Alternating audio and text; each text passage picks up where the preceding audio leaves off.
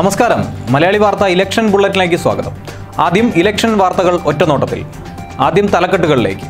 ഇരിങ്ങാലിക്കുടയിൽ C P M സംസ്ഥാന secretary A വിജയരാഘവന്റെ ഭാര്യ ആർ ബിന്ദുവിനെ സി പി എം പരിഗണിക്കുന്നതായി സൂചന. ബി ജെ പിയുടെ പതിനാറംഗ തിരഞ്ഞെടുപ്പ് കമ്മിറ്റി പ്രഖ്യാപിച്ചു. കമ്മിറ്റിയിൽ ഇ ശ്രീധരനെ ഉൾപ്പെടുത്തിയിട്ടും ശോഭ സുരേന്ദ്രനില്ല വയനാട് കോൺഗ്രസിൽ വീണ്ടും രാജിവെപ്പ്. ഇത്തവണ രാജിവെച്ചത് K P C C secretary M S വിശ്വനാഥനാണ്. L D എഫിൽ ചങ്ങനാശ്ശേരിക്കായി പിടിവലി മുറുകുന്നു. തലപുകഞ്ഞ് സി പി എം. വാർത്തകൾ വിശദമായി. ഇരിങ്ങാലിക്കുടയിൽ സി പി എം സംസ്ഥാന സെക്രട്ടറി എ വിജയരാഘവന്റെ ഭാര്യ ആർ ബിന്ദുവിനെ സി പി എം പരിഗണിക്കുന്നതായി സൂചന. തൃശൂർ കോർപ്പറേഷൻ മേയറായിരുന്നു ബിന്ദു. ഇരിങ്ങാലിക്കുടയിൽ ആദ്യം പരിഗണിച്ച യു പി ജോസഫിന് സീറ്റ് നൽകില്ല എന്നാണ് വിവരം. ഗുരുവായൂരിൽ കെ വി അബ്ദുൽ ഖാദറിനെ മാറ്റാനും സാധ്യതയുണ്ട്. Baby John Chavakkad area secretary അക്ബറുമാണ് അന്തിമ പട്ടികയിലുള്ളതെന്നും സൂചനയുണ്ട്. മന്ത്രി എ കെ ബാലന്റെ ഭാര്യ റിട്ടയർഡ് ആരോഗ്യവകുപ്പ് ഡയറക്ടറുമായ ഡോക്ടർ പി കെ ജമീലയെ മന്ത്രി പ്രതിനിധീകരിക്കുന്ന തരൂർ മണ്ഡലത്തിലേക്ക് സ്ഥാനാർത്ഥിയായി പരിഗണിച്ചത് മുൻപ് വിവാദമായിരുന്നു. സംസ്ഥാന ബി ജെ പിയിലെ മുതിർന്ന വനിതാ നേതാവ് ശോഭാ സുരേന്ദ്രനെ ഉൾപ്പെടുത്താതെ ബി ജെ പി തെരഞ്ഞെടുപ്പ് കമ്മിറ്റി പ്രഖ്യാപിച്ചു. അടുത്തിടെ പാർട്ടിയിലേക്ക് എത്തിയ മെട്രോമാൻ ഇ ശ്രീധരൻ അടക്കം പതിനാറ് പേരാണ് കമ്മിറ്റിയിലുള്ളത്.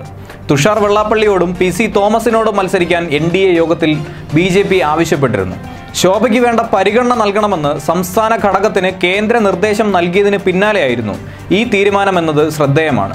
കേന്ദ്ര സഹമന്ത്രി വി മുരളീധരനും സംസ്ഥാന അധ്യക്ഷൻ കെ സുരേന്ദ്രനും കുമ്മനം രാജശേഖരനും ഒ രാജഗോപാലും ഉൾപ്പെട്ട സമിതിയിലെ വനിതാ പ്രതിനിധി മഹിളാ മോർച്ച സംസ്ഥാന പ്രസിഡന്റ് നിവേദിത സുബ്രഹ്മണ്യനാണ്. മത്സരിക്കാനില്ലെന്ന് പ്രഖ്യാപിച്ചെങ്കിലും കേന്ദ്രം നിർദ്ദേശിച്ചാൽ ശോഭാ സുരേന്ദ്രൻ ഇറങ്ങാൻ സാധ്യതയേറെയാണ്. കഴിഞ്ഞ തവണ മുപ്പത്തി സീറ്റിൽ മത്സരിച്ച ബി ഡി ജെ എസ് പക്ഷേ ഇത്തവണ വിട്ടുവീഴ്ചയ്ക്ക് തയ്യാറാണ്. വയനാട് കോൺഗ്രസിൽ വീണ്ടും രാജി. കെ പി സി സി സെക്രട്ടറിയും കുർമ സമുദായം നേതാവുമായ എം എസ് വിശ്വനാഥനാണ് രാജിവെച്ചത്. വിശ്വനാഥൻ ബത്തേരിയിൽ എൽ ഡി എഫ് സ്ഥാനാർത്ഥിയാകുമെന്നാണ് സൂചന. വീണ്ടും നിരവധി നേതാക്കൾ രാജ്യഭീഷണി ഉയർത്തിയ സാഹചര്യത്തിൽ നാളെ പ്രശ്നപരിഹാരത്തിനായി കെ പി സി സി നേതാക്കൾ ജില്ലയിലെത്തും. ഐ എൻ യു സി സംസ്ഥാന സെക്രട്ടറിയായിരുന്ന പി കെ അനിൽകുമാറിൽ തുടങ്ങിയതാണ് കോൺഗ്രസ് നേതാക്കൾക്കിടയിലെ രാജി. ഇന്ന് K P C C secretary M S Viswanathan രാജിവെച്ച ശേഷം മാധ്യമങ്ങൾക്ക് മുന്നിലെത്തിയത് ജില്ലയിലെ സി പി എം നേതാക്കൾക്കൊപ്പമാണ്. രാജിക്കിടയാക്കിയത് പാർട്ടിയിലെ അവഗണനയെന്നും സി പി എമ്മിൽ ചേർന്ന് പ്രവർത്തിക്കാൻ തീരുമാനിച്ചുവെന്നുമായിരുന്നു വിശ്വനാഥന്റെ പ്രതികരണം. കൽപ്പറ്റ സീറ്റിൽ പ്രാദേശിക പരിഗണന ലഭിച്ചില്ലെങ്കിൽ രാജിവെക്കുമെന്ന് മുൻ ഡി സി സി പ്രസിഡന്റ് അടക്കമുള്ള ചില നേതാക്കൾ ഇതിനോടകം ഭീഷണി മുഴക്കിയിട്ടുണ്ട്. ഇവരുമായി ചർച്ച ചെയ്യാൻ നാളെ കെ മുരളീധരനും കെ സുധാകരനും ജില്ലയിലെത്തും. പാർട്ടിയിൽ പ്രശ്നങ്ങളുണ്ടെന്നത് ഡി സി സിയും സമ്മതിക്കുന്നുണ്ട്. ചങ്ങനാശ്ശേരി സീറ്റിനെ ചൊല്ലി എൽ ഡി എഫിൽ പിടിവലി മുറുകുന്നു. മുന്നണിയിലെ മൂന്ന് പാർട്ടികൾ സീറ്റിനായി അവകാശം ഉന്നയിച്ച് എത്തിയതോടെയാണ് സി പി എം ഇപ്പോൾ പ്രതിരോധത്തിലായിരിക്കുന്നത്. സി പി ഐ ജനാധിപത്യ കേരള കോൺഗ്രസ് കേരള കോൺഗ്രസ് ജോസ് വിഭാഗം എന്നിവരാണ് ചങ്ങനാശ്ശേരിക്കായി കാത്തിരിക്കുന്നവർ. കാഞ്ഞിരപ്പള്ളി വിട്ടു നൽകണമെങ്കിൽ പകരം ചങ്ങനാശ്ശേരി നൽകണമെന്ന ഉറച്ച നിലപാടിലാണ് സി നിൽക്കുന്നത്.